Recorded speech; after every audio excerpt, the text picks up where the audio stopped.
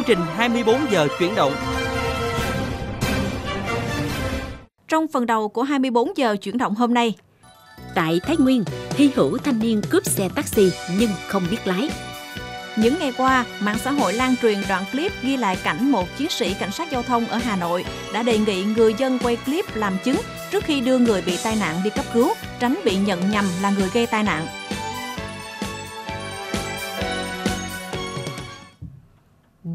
Một hành động rất nhân văn nhưng cũng đáng buồn.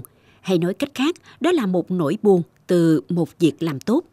Và câu chuyện này sẽ được chúng tôi đưa ra bình luận trong ít phút tới đây. Bên cạnh đó còn có các thông tin nóng, những câu chuyện ý nghĩa và thú vị khác cũng sẽ được chúng tôi chia sẻ trong suốt 30 phút của chương trình.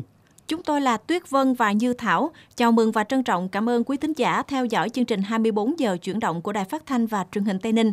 Mở đầu là cụm tin nóng mà chương trình cập nhật trong 24 giờ qua.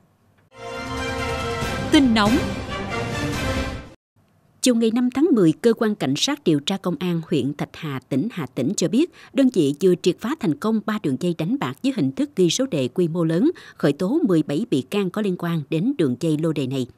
Theo đó, ngày 3 tháng 10, Công an huyện Thạch Hà đã huy động hơn 70 cán bộ chiến sĩ chia thành 14 tổ công tác, phá thành công chuyên án đánh bạc, triệt xóa 3 đường dây lô đề trên địa bàn, bắt giữ 25 đối tượng. Quá trình bắt giữ, khám xét nơi ở của các đối tượng, lực lượng công an thu giữ hơn 550 triệu đồng tiền mặt, 32 điện thoại di động, một cái sắt cùng nhiều tăng vật khác có liên quan. Qua đấu tranh được biết, các đối tượng thực hiện đánh bạc với hình thức ghi số đề với nhau qua điện thoại. Tiền thắng thua được thanh toán với phương thức chuyển khoản ngân hàng và thường xóa sạch dữ liệu sau khi thực hiện nhằm gây khó khăn cho lực lượng trong quá trình điều tra. Hiện Công an huyện Thạch Hà đã ra quyết định khởi tố vụ án, khởi tố 17 bị can, ra lệnh tạm giam đối với ba đối tượng cầm đầu và tiếp tục điều tra mở rộng vụ án để xử lý theo quy định của pháp luật. Chiều ngày 5 tháng 10, Công an huyện Tam Dương, tỉnh Vĩnh Phúc cho biết đơn vị đang tạm giữ hình sự đối tượng Phạm Văn Hùng, 27 tuổi, trú tại xã Kim Long, huyện Tam Dương để điều tra về hành vi chống người thi hành công vụ. Trước đó, khoảng 13 giờ 20 phút ngày 3 tháng 10, đối tượng Phạm Văn Hùng điều khiển xe ô tô mang biển kiểm soát 88A 44301 đi từ thôn Gô, xã Kim Long, huyện Tam Dương ra đường tỉnh lộ 310 thuộc xã Kim Long. Khi phát hiện cán bộ cảnh sát giao thông ra tín hiệu dừng xe để kiểm tra, thì Hùng không chấp hành mà điều khiển xe phóng thẳng về phía cán bộ cảnh sát giao thông để đe dọa và bỏ chạy. Do khoảng cách giữa xe ô tô và một đồng chí cảnh sát giao thông quá gần, không thể tránh được nên Hùng đã hất tung, buộc cán bộ này phải bám vào nắp cabo xe. Sau đó Hùng vẫn không dừng xe mà tiếp tục điều khiển cho xe chạy hơn 1 km. Chỉ khi có sự hỗ trợ của người dân thì Hùng mới chịu dừng lại. Hiện cơ quan cảnh sát điều tra công an huyện Tam Dương đã ra lệnh giữ người trong trường hợp khẩn cấp tạm giữ đối với Phạm Văn Hùng để tiếp tục điều tra.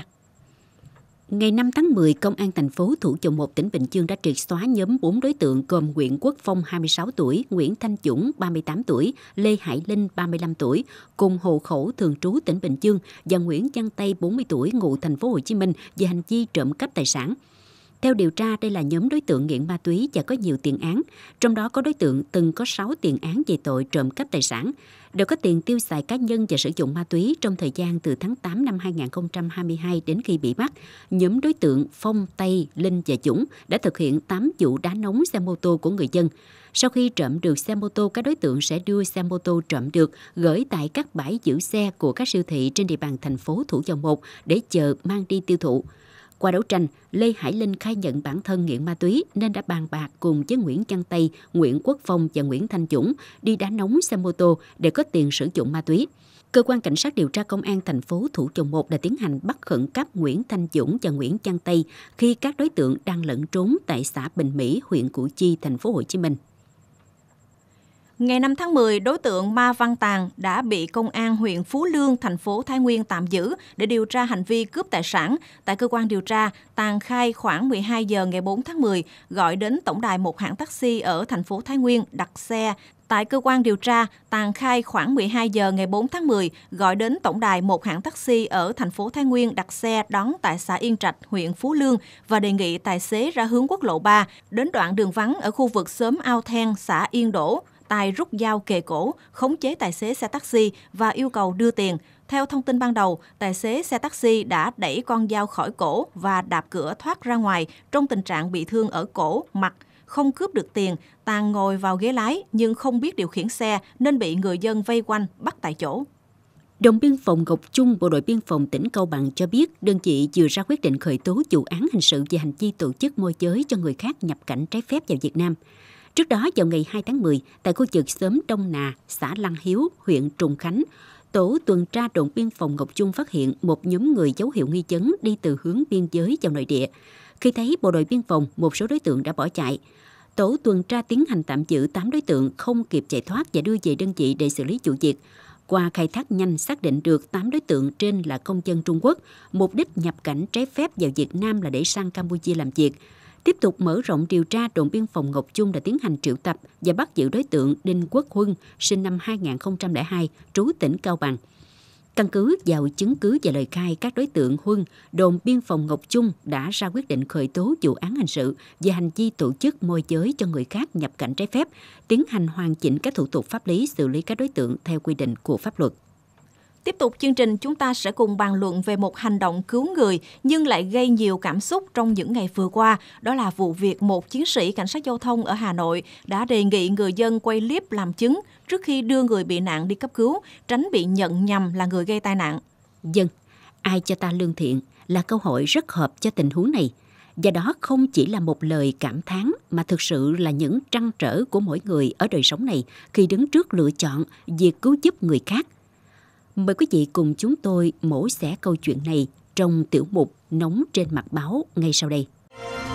Tiểu mục Nóng trên mặt báo trên mạng xã hội đang lan truyền đoạn video ghi lại hình ảnh một người đàn ông đi ô tô giúp đỡ một người phụ nữ bị tai nạn nằm ven đường lên xe ô tô cá nhân chở đến bệnh viện cấp cứu. Đáng nói là anh vừa làm việc giúp đỡ ấy vừa khẩn khoản. quay cả vào này nữa. Anh quay chụp ảnh cho em, em chở em chỉ chở mấy đi cấp cứu thôi em chở mấy cấp cứu thôi nhá. Không mai để bảo là em là người gây tai nạn. Rồi rồi vâng em được biết, nam tài xế trong clip là Thiếu tá Nguyễn Ninh Dương, cán bộ đội Cảnh sát Giao thông đường bộ số 6, Phòng Cảnh sát Giao thông Công an Hà Nội. Thiếu tá Nguyễn Ninh Dương chia sẻ, vào khoảng 7 giờ sáng khi anh đang trên đường đi làm thì phát hiện một vụ tai nạn giao thông. Nạn nhân là phụ nữ nằm trên vỉa hè, máu chảy nhiều nhưng chưa có xe cấp cứu đến. Lập tức Thiếu tá Dương đã tiến lại hỏi thăm và cùng người dân sử dụng ô tô của mình để đưa người phụ nữ đi cấp cứu kịp thời tại bệnh viện. Theo Thiếu tá Nguyễn Ninh Dương, cách đây không lâu tại Quảng Ninh xảy ra vụ việc hy hữu khi có một người giúp người khác bị tai nạn giao thông mà lại bị đổ oan. Vị cảnh sát giao thông nói, việc cứu giúp nạn nhân bị tai nạn là trách nhiệm của mỗi người tham gia giao thông và được quy định rất rõ trong luật giao thông. Nhưng khi chứng minh sau đó khá nhiều phiền phức, nên tôi mới nhờ người dân quay clip làm chứng. Thiếu tá Dương cũng cho rằng việc dừng xe cứu giúp người bị nạn của anh không có gì to tát cả, giúp người bị nạn cũng là trách nhiệm và là một phần công việc của lực lượng cảnh sát giao thông. Nhìn nhận về việc làm trên, bạn đọc Quang Huy cho biết, ngay cả cán bộ cảnh sát giao thông mà phải cẩn trọng như vậy, điều đáng suy ngẫm là có một số không nhỏ những người không biết điều, hồ đồ, thậm chí là có trường hợp ăn vạ luôn cả người đã giúp mình khi bị tai nạn trên đường. Nên chăng có biện pháp chế tài mạnh những trường hợp đó để tạo lại lòng tin giữa con người với nhau. Tương tự, bạn Vi Phương cũng bày tỏ sự băn khoăn, cảnh sát giao thông là người nắm chắc luật giao thông, trình tự thủ tục, căn cứ pháp lý giải quyết tai nạn mà còn phải cẩn trọng như thế này thì dân thường ta tính sao khi ta giúp đỡ người bị tai nạn giao thông? Dân, thưa quý vị, Việc đáng suy nghĩ chết nỗi buồn ở đây không phải là việc thiếu tá Nguyễn Ninh Dương đưa người phụ nữ đi cấp cứu, mà buồn là việc khi người ta làm điều tốt, điều có ích cho xã hội là cứu giúp người bị tai nạn giao thông lại đi kèm sự lo lắng với việc bị đổ oan, bắt giả bồi thường hoặc là hành hung đến từ người thân của người mình vừa cứu giúp đã có cả những câu chuyện về bọn tội phạm dàn dựng các vụ tai nạn trên cung đường vắng lúc đêm khuya, giả làm người bị nạn máu me nằm lăn ra đường, có lái xe nào dừng lại cứu giúp sẽ ùa ra trấn, cướp hay đổ oan bắt vạ. Do đó, việc người ta bắt buộc phải dè chừng cảnh giác trước việc cần kiếp phải ra tay cứu người cũng là điều dễ hiểu. Và khi sự đắn đo lo sợ lớn hơn, thắng thế điều lương tâm thúc giục phải làm, người ta sẽ tặc lưỡi bỏ qua để mặc người khác trong tình trạng nguy hiểm, quên đi tình thế nếu như chẳng may bản thân hay người nhà mình gặp nạn. Có người biết, nhìn thấy nhưng không cứu giúp thì còn đau đớn nào bằng. Đạo đức xã hội xuống cấp thì mọi thứ giàu sang chỉ là phù du vô bổ. chỉ có cách hành xử đạo đức văn minh mới là thứ đáng được trân trọng nhất, thể hiện sự giàu có nhất trong xã hội. Việc khen ngợi đồng chí cảnh sát là việc nên làm, nhưng cổ suý cho việc quay clip tránh phiền phức thì thiết nghĩ lại là việc chúng ta nên cân nhắc. Và những ai khi gặp sự cố của người thân cần suy nghĩ thấu đáo, hành xử cho đúng mực. Nếu cư xử theo kiểu thiếu máu lên não nhưng thừa lực nắm đấm của tay thì chắc chắn rắc rối sẽ còn phủ trùm lên cả sự không may đó. Vâng, để mọi người đều tự tin khi tham gia cứu giúp người bị nạn, không bị sự ám ảnh nào cản trở đến công cuộc cứu người mới là điều cần hướng tới. Và thưa quý vị, đến đây chúng tôi xin khép lại câu chuyện Hãy cho lòng tốt mảnh đất sống của tiểu mục nóng trên mặt báo hôm nay. Tiếp tục chương trình là những thông tin về đời sống xã hội dân sinh đáng chú ý trong tiểu mục Đông Tây chuyển động. Tiểu mục Đông Tây chuyển động Thưa quý vị, chiều ngày 5 tháng 10, Phó giáo sư tiến sĩ Trần Chanh Cường, Giám đốc Bệnh viện Phụ sản Trung ương thông báo, các bác sĩ của bệnh viện đã làm nên điều kỳ diệu trong sản khoa. Đó là lần đầu tiên nuôi sống cặp song sinh chỉ nặng 500 gram chào đời ở tuần thai thứ 25 từ cơ thể người mẹ mắc COVID-19. Đây có thể coi là kỳ tích của đội ngũ y bác sĩ bệnh viện này. Đây là trường hợp song thai đặc biệt khi hai bé khác trứng, một bé trai và một bé gái. Mẹ của hai bé có tiền sử thai lưu, khi đang mang thai thì phải theo dõi COVID-19, bất ngờ vỡ ối, sinh em bé hôm 16 tháng 5, khi thai mới được 25 tuần tuổi. Khi mới sinh ra đời, các bé suy hô hấp phải thở máy hàng chục ngày và được nuôi dưỡng bằng 7 phương pháp cơ bản. Mỗi bé được các y bác sĩ cho ăn 25-26 lần một ngày với mỗi 1 ml sữa mỗi lần. Các bác sĩ khẳng định những em bé sinh trước tuần thai 28 được xếp vào nhóm đặc biệt nhẹ cân, sinh non. Đối mặt với nhiều biến chứng gây nguy cơ tử vong, cả hai bé đều đã vượt qua 8 nguy cơ gần của trẻ sinh non, gồm ngạt, suy hô hấp, hạ thân nhiệt, xuất huyết não, phổi, khó khăn nuôi dưỡng do dễ viêm ruột, hoại tử, nhiễm trùng sơ sinh, rối loạn chuyển hóa, vàng da, tan máu. Sau gần 5 tháng nuôi dưỡng đặc biệt, hiện tại các bé tự hít thở khí trời, ăn được 200ml sữa một bữa. Bé đã có thể mỉm cười và có các phản xạ như em bé cùng tuần tuổi. Phó giáo sư tiến sĩ Trần Danh Cường, Giám đốc Bệnh viện Phụ sản Trung ương cho biết. À, ngoài cái thành công của chuyên môn đấy, nó còn thể hiện một cái hệ thống sắp xếp trong một cái bệnh phòng, trong một cái khoa hợp lý thì mới giúp được những em bé như thế này. Như vậy, nó ngoài cái việc về chuyên môn thì nó cả về đấy là cái quản lý trang thiết bị cũng như là hệ thống chăm sóc trong một cái khoa để được cái thành công này. Với những đánh giá hiện tại, hai bé đã vượt qua được những giai đoạn cực kỳ khó khăn, vượt qua được những biến chứng trước mắt. Thưa quý vị, do ảnh hưởng của hoàn lưu bão số 4 đến thời điểm hiện nay, một số địa phương ở tỉnh Hà Tĩnh vẫn còn bị ngập sâu trong nước lũ, cuộc sống của người dân hiện đang gặp nhiều khó khăn. Tại những vùng lũ đã rút, công tác khắc phục hậu quả, xử lý môi trường đang được lực lượng công an khẩn trương triển khai nhằm giúp cho người dân và các đơn vị sớm ổn định cuộc sống, trở lại hoạt động bình thường. Trong những ngày qua, trên địa bàn huyện Hương Sơn, Hà Tĩnh liên tiếp xảy ra những trận mưa lớn cùng với nước từ thượng nguồn các sông đổ về, dẫn đến ngập cục bộ, gây thiệt hại nặng nề về người và tài sản. Phát huy tinh thần vì nhân dân phục vụ với phương châm nước rút đến đâu khắc phục tới đó. Công an huyện Hương Sơn đã huy động toàn lực lượng cùng với bà con nhân dân sớm khắc phục hậu quả cho mưa lũ gây ra. Thiếu tá Nguyễn Huy Chương, Phó trưởng Công an huyện Hương Sơn, tỉnh Hà Tĩnh nói.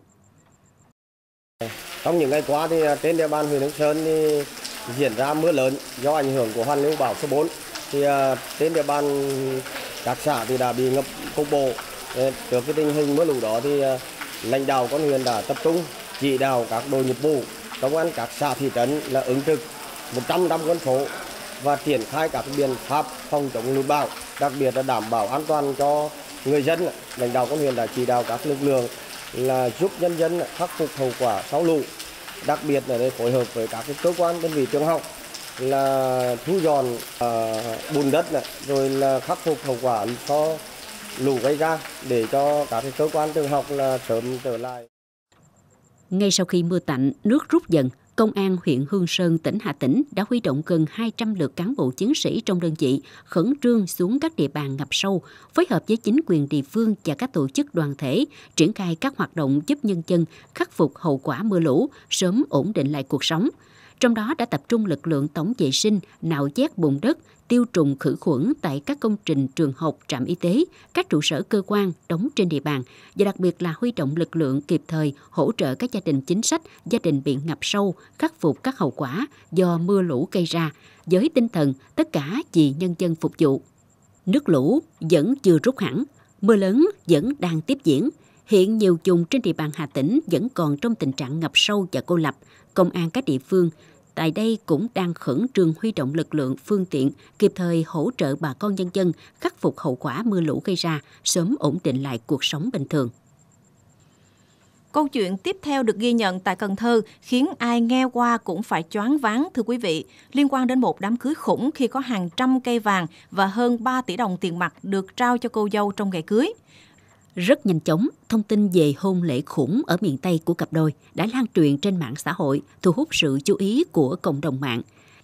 Nhiều người chúc phúc cô dâu chú rể và thể hiện sự ngưỡng mộ cặp đôi sinh ra đã ở dạch đích. Trao đổi với phóng viên, anh Phương Huy, người đăng tải clip lên mạng xã hội cho biết đám cưới diễn ra hôm 30 tháng 9 và 1 tháng 10 tại phường Thốt Nốt, thành phố Cần Thơ của đôi bạn trẻ. Sính lễ nhà trai mang tới là 250 cây vàng cùng 3 tỷ đồng tiền mặt, một chiếc đồng hồ Rolex 500 triệu, quà hồi môn nhà gái dành cho cô dâu cũng là 20 cây vàng và 300 triệu tiền mặt. Cô dâu chú rể trong trang phục sông hỉ đỏ rực nổi bật cùng với vô số vòng vàng, nhẫn kiền và cả bộ dây chuyền có mặt hình chú heo vàng.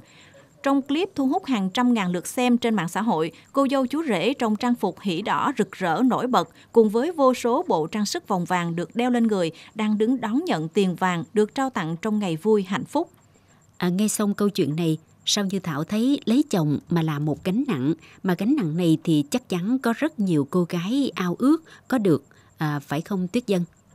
Thực sự là có người sinh ra đã ở vạch đích, có người phải cố gắng từng ngày từng phút. Câu chuyện này chắc chắn sẽ là động lực với rất nhiều người, thôi thúc chúng ta phải cố gắng phấn đấu để sau này con cháu mình có cuộc sống tốt đẹp hơn.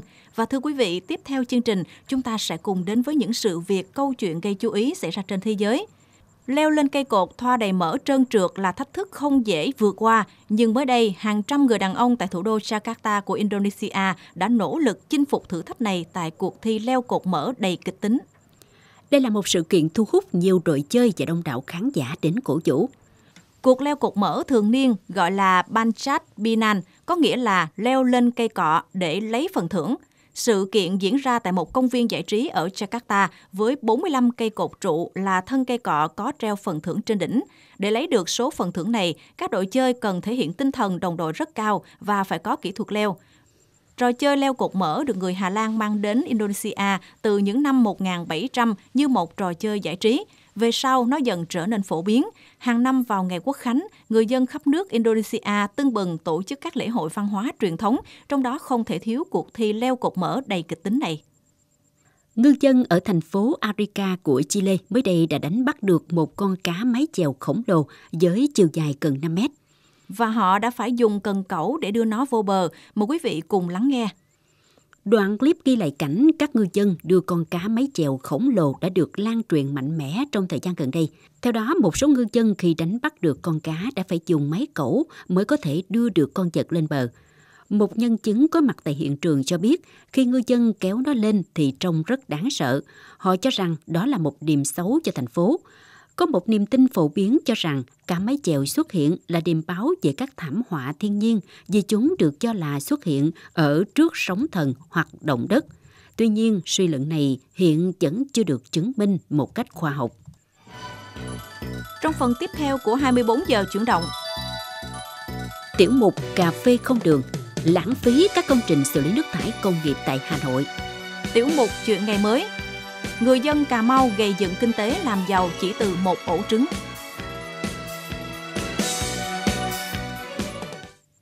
Tiếp tục chương trình là một vấn đề đáng lo ngại về môi trường. Thưa quý vị, trong khi tình hình ô nhiễm tại các địa phương vẫn luôn là vấn đề nóng khiến người dân bức xúc, thì nhiều công trình xử lý nước thải tập trung tại các cụm công nghiệp ngoại thành Hà Nội đang bị bỏ hoang và xuống cấp. Hàng chục tỷ đồng được chi ra để giờ đổi lấy là nơi nuôi gà, nuôi vịt. Câu chuyện được phản ánh chi tiết trong tiểu mục Cà phê không đường ngay sau đây. Tiểu mục Cà phê không đường Trạm xử lý nước thải cụm công nghiệp Phú Thịnh, thị xã Sơn Tây được hoàn thành năm 2019 nhưng chưa được vận hành một ngày nào và giờ đây trở thành nơi cho người dân quanh vùng tận dụng nuôi vịt. Bà Hoàng Thị Như, tổ trưởng tổ dân phố Phú Nhi 2, phường Phú Thịnh, thị xã Sơn Tây, thành phố Hà Nội cho biết. Từ ngày mà xây dựng xong hầu như là chưa hoạt động được cái gì hết và nước thì vẫn bị à, ngập và váng dầu vẫn nổi lên. Và nguyên nhân được đưa ra là do thiếu nước thải. Ông Tạ Thanh Phong, Phó Chủ tịch Ủy ban Nhân dân thị xã Sơn Tây, thành phố Hà Nội nói. Khi mà xây dựng dự án ấy, thì có khoảng độ 5 cái doanh nghiệp ở trong đó họ sản xuất nhưng mà cũng đến thời điểm hiện nay thì à, không còn một cái doanh nghiệp nào hoạt động nữa là có một doanh nghiệp là tráng gương kính thì họ lại tự xây dựng một cái hệ thống ờ, để tuần hoàn nước ở trong đó họ không xả thải ra ngoài đó cũng là nguyên nhân mà trạm xử lý nước thải tập trung tại cụm công nghiệp thị trấn Phúc Thọ, huyện Phúc Thọ suốt gần 5 năm qua vẫn nằm ngay ngắn và chưa hoạt động. Đáng nói, hàng năm, huyện còn phải bỏ ra khoảng 60 triệu đồng để thuê người trông coi công trình này và theo báo cáo, nếu để công trình hoạt động được, cần phải đầu tư bổ sung 1,1 tỷ đồng để sửa chữa thiết bị hư hỏng và lắp đặt hệ thống quan trắc. Ông Nguyễn Đình Sơn, Phó Chủ tịch Ủy ban Nhân dân huyện Phúc Thọ, thành phố Hà Nội, nói nếu mà để đảm bảo cái phù hợp chung theo đúng cái tinh thần chủ trương chung thì là rất là phù hợp nhưng còn về cái thực tiễn của Phúc Thọ ở thời điểm này thì nó chưa phù hợp lắm. Tương tự Tây Sơn, Phúc Thọ, trạm xử lý nước thải cụm tiểu thủ công nghiệp Liên Hà, huyện Đan Phượng cũng đã trở thành nơi tập kết hàng hóa rêu bám đầy thành, Nguyên nhân đã được xác định, thế nhưng đáng nói, dù trong tương lai khi đã có thêm các doanh nghiệp hoạt động, thì việc có đủ nước thải để vận hành hệ thống hay không vẫn bị bỏ ngỏ. Theo các chuyên gia, các công trình không thể thực hiện được nhiệm vụ là do công tác quy hoạch, triển khai thiếu khoa học, hợp lý. Tiến sĩ Hoàng Dương Tùng, chuyên gia môi trường cho biết. Chúng ta chưa xây dựng được một cái cơ chế làm thế nào đấy để vận hành cái công trình đấy một cách bền vững. Nhiều khi à, chúng ta cũng cái là cái bệnh thành tích, tức là nhiều khi cũng mua muốn xây một cái hoành tráng và rõ ràng là ở đây thì cũng có cái trách nhiệm của các cơ quan cơ quan phê duyệt. Hiện, nhiều địa phương đang lên kế hoạch đề xuất chuyển đổi mục đích của các trạm xử lý nước thải từ công nghiệp sang kết hợp sinh hoạt hoặc đấu nối với một số địa bàn khác để khắc phục sự bất cập lãng phí, nhưng tất cả vẫn đang loay hoay chờ đợi. Ông Nguyễn Thạc Hùng, Phó Chủ tịch Ủy ban Nhân dân huyện Đan Phượng, thành phố Hà Nội, nói. Việc ờ, khảo sát nó phải kỹ lưỡng và thứ hai là cái lộ trình thực hiện là nó phải phù hợp với cái tốc độ phát triển đó. Nếu không làm sớm quá là sẽ bị lãng phí. Hà Nội đã từng triển khai một đề án nhằm tăng cường công tác xử lý nước thải tại các cụm công nghiệp trên địa bàn thành phố giai đoạn 2014-2015 với số vốn lên đến cả trăm tỷ đồng. Nhưng đến nay, sau gần chục năm, kết quả của quá trình triển khai đề án này chỉ cho thấy sự lãng phí. Tiếp theo chương trình là cụm tin nóng về tình hình an ninh trật tự. Mời quý vị tiếp tục theo dõi. Tin nóng Thưa quý vị, Phòng Cảnh sát Giao thông Công an tỉnh Đồng Nai cho biết đã bắt giữ phương tiện khai thác cát trái phép trên sông Đồng Nai. Hiện lực lượng công an đang điều tra xử lý vụ việc theo quy định. Ngày 5 tháng 10, Phòng Cảnh sát Giao thông Công an tỉnh Đồng Nai cho biết, gần 4 giờ sáng cùng ngày, lực lượng Cảnh sát Giao thông Đồng Nai tuần tra trên sông Đồng Nai, đoạn qua xã Tam An, huyện Long Thành, thì phát hiện hai tàu gỗ đang bơm hút cát trái phép từ đáy sông lên một tàu khác. Trên các tàu được trang bị hệ thống bơm hút công suất lớn, ống bơm và một số thiết bị khác dùng để khai thác cát lậu. Khi tổ công tác áp sát tiếp cận để kiểm tra, thì nhóm cắt tặc trên tàu liền rút lù, đánh chìm tàu rồi nhảy xuống sông bỏ trốn. Trong ngày 5 tháng 10, ngành chức năng đã trục vớt thành công các tàu bơm hút cát nêu trên. Công an huyện Krông Anna, tỉnh Đắk Lắk cho biết đơn vị đang tạm giữ hình sự hai đối tượng nghiện ma túy chuyên đột nhập các rẫy cà phê, gây ra hàng chục vụ trộm cắp máy bơm nước của người dân. Theo đó, từ tháng 6 đến nay, Công an huyện Krông Anna liên tiếp nhận được đơn trình báo của người dân về việc bị kẻ gian đột nhập vào rẫy cà phê lấy cắp máy bơm nước, gây bức xúc dư luận. Vào cuộc điều tra bằng nhiều biện pháp nghiệp vụ, đến nay, Công an huyện Krông Anna đã bắt giữ được hai đối tượng là thủ phạm của các vụ trộm trên. Đó là Vũ Đình Phú, 30 tuổi và Nguyễn Việt Hưng, 31 tuổi, cùng trú tại xã Iana, huyện Krông Anna. Tại cơ quan công an, cả hai khai nhận đã nghiện ma túy gần 10 năm nay. Mỗi ngày các đối tượng sử dụng ma túy 1 đến 2 lần, mỗi lần từ 300 đến 400 ngàn đồng để có tiền mua ma túy sử dụng, Phú đã rủ Hưng đi vào các rễ cà phê trộm cắp máy bơm nước. Hiện công an đã dẫn giải hai đối tượng đi chỉ điểm được 16 vụ. Ngoài ra, cả hai khai nhận còn gây ra rất nhiều vụ trộm máy bơm nước khác. Hiện công an huyện Krông Anna đã truy thu được hơn 10 chiếc máy bơm để trả cho các gia đình bị hại, đồng thời đang tiếp tục điều tra mở rộng vụ án. Ngày 5 tháng 10, Phòng Cảnh sát Kinh tế Công an tỉnh An Giang cho biết vừa phối hợp cùng lực lượng chức năng bắt và chi lý đối tượng Nguyễn Hữu Phước sinh năm 1968, ngụ tại xã Tân Thạnh, huyện Thanh Bình, tỉnh Đồng Tháp về hành vi mua bán trái phép hóa đơn. Theo kết quả điều tra, từ tháng 10 năm 2018 đến tháng 5 năm 2020, Nguyễn Hữu Phước thành lập công ty trách nhiệm hữu hạn một thành viên tiền sở thượng, có trụ sở tại xã Thường Thới Tiền, huyện Hồng Ngự, tỉnh Đồng Tháp và điều hành hoạt động 5 công ty cho người khác đứng tên giám đốc. Trong quá trình điều hành hoạt động 6 công ty trên, Phước xuất bán 997 tờ hóa đơn cho công ty Thanh Dân Tân Châu do Lê Thanh Dân sinh năm 1981, trú tại thị xã Tân Châu, tỉnh An Giang đứng tên và công ty Giang Sơn Tân Châu do Dân điều hành hoạt động không có hàng hóa kèm theo, ghi khống trên 1 triệu 903 ngàn mét khối cát trên hóa đơn với tổng số tiền là trên 102 tỷ đồng. Phước thu lợi từ việc bán hóa đơn cho dân trên 3 tỷ đồng số hóa đơn mua của Phước, dân đem bán lại thu lợi trên 1,9 tỷ đồng. Được biết trước đó, Lê Thanh Chân đã bị cơ quan cảnh sát điều tra công an tỉnh An Giang ra quyết định khởi tố bắt tạm giam về hành vi mua bán trái phép hóa đơn. Thông tin về giao thông, thưa quý vị, chiều ngày 5 tháng 10 tại nút giao thông cầu Tuyên Sơn, thành phố Đà Nẵng, xảy ra vụ lật xe đầu kéo container gây ảnh hưởng đến tình hình giao thông tại đây. Vụ tai nạn xảy ra vào khoảng 15 giờ 40 phút, xe đầu kéo biển kiểm soát 43C 04967 di chuyển từ trên cầu Tuyên Sơn rẽ vào đường Ngũ Hành Sơn về hướng cảng Tiên Sa. Khi đến nút giao thông cầu Tuyên Sơn, phường Mỹ An, quận Ngũ Hành Sơn thì bị mất lái lật nghiêng vào lề đường bên phải. Vụ tai nạn đã khiến tài xế xe container bị thương được đưa đi cấp cứu tại bệnh viện, đồng thời làm ngã đổ một trụ đèn tín hiệu giao thông tại đây. Ngay khi vụ việc xảy ra, các lực lượng chức năng đã nhanh chóng có mặt giải quyết vụ việc và điều tiết giao thông, không để xảy ra tình trạng ùn tắc tại nút giao thông quan trọng này.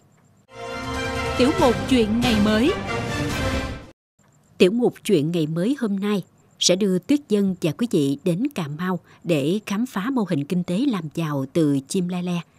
À, không biết là Tuyết Dân có biết loài chim này không ạ? À? À, chim le le làm cho Tuyết Vân nhớ đến bài hát tuổi thơ đó là Bắc Kim Thang.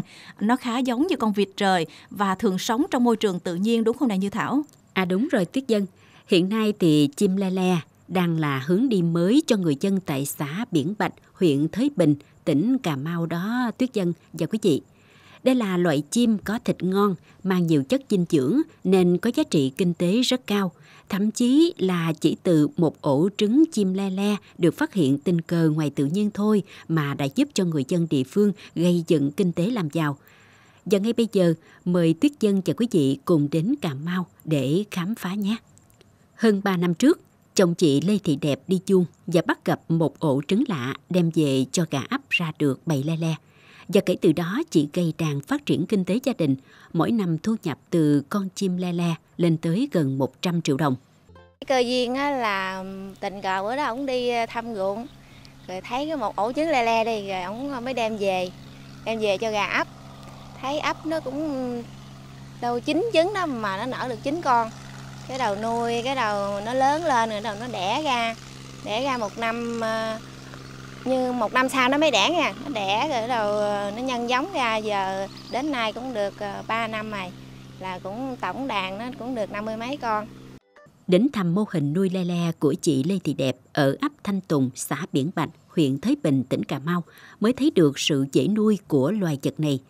Bầy le le của nhà chị hơn 50 con đang vào mùa sinh sản. Trong khu vực nuôi le le của chị còn thả thêm một số loại cá đồng dưới ao để tăng thêm thu nhập. Le le làm ổ đẻ trứng trong khu vực gian bờ kênh và sau 30 ngày trứng nở, le le mẹ sẽ chăm sóc con đến lớn. Hiện tại chị Đẹp đã bắt đầu cung cấp con giống cho bà con lân cận để phát triển loại hình nuôi mới cho thu nhập kinh tế cao này. Chị Lê Thị Đẹp, ấp Thanh Tùng, xã Biển Bạch, huyện Thới Bình, tỉnh Cà Mau cho biết.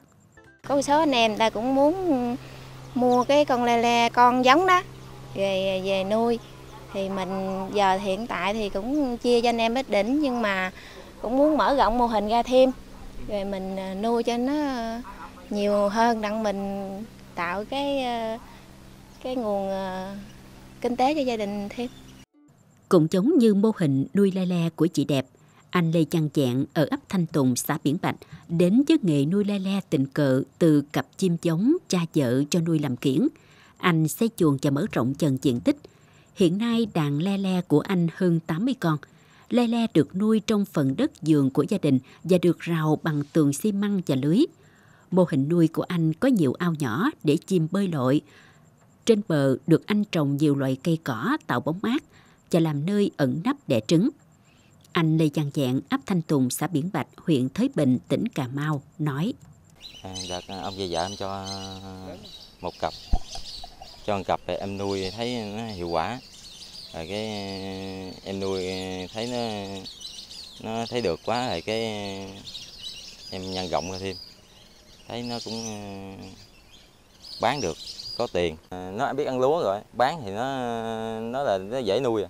Lúc đó là nuôi nó dễ nó không có hao đẻ đầu à, cũng nhiều đẻ cũng bảy, tám trứng, tám, chín trứng khi à, nó đủ thức ăn thì 11 12 trứng đàn nó giờ cũng à, bảy, tám chục con Đàn le le của anh chàng khỏe mạnh, phát triển nhanh, nên được nhiều người tìm mua về làm giống hoặc lấy thịt. Với bình quân mỗi con le le giống nặng khoảng 300 gram, bán được với giá 700.000 đồng. Mỗi năm thu nhập về cho anh hơn 100 triệu đồng, giúp gia đình trang trải cuộc sống. Ngoài nuôi nai le thì anh chàng còn phát triển thêm các loại như bìm biệp, chít. Các loài này có thể sống chung với nhau và thích sống ở ao đầm, thích yên tĩnh, ít người qua lại. Chúng bơi lặn rất giỏi. Đây là những loài có sức đề kháng rất cao. Có thể nói mô hình nuôi le le đang mở ra một hướng chăn nuôi mới, tạo thu nhập cao cho bà con tại địa phương. Ngoài ra, việc nuôi thành công loài chim le le này còn góp phần bảo tồn loài chim tự nhiên đang dần cạn kiệt tại địa phương. Thưa quý vị, đến đây thì thời lượng dành cho chương trình 24 giờ chuyển động xin được phép khép lại. Một lần nữa, chúng tôi xin chân thành cảm ơn quý vị đã quan tâm theo dõi và đồng hành cùng chương trình.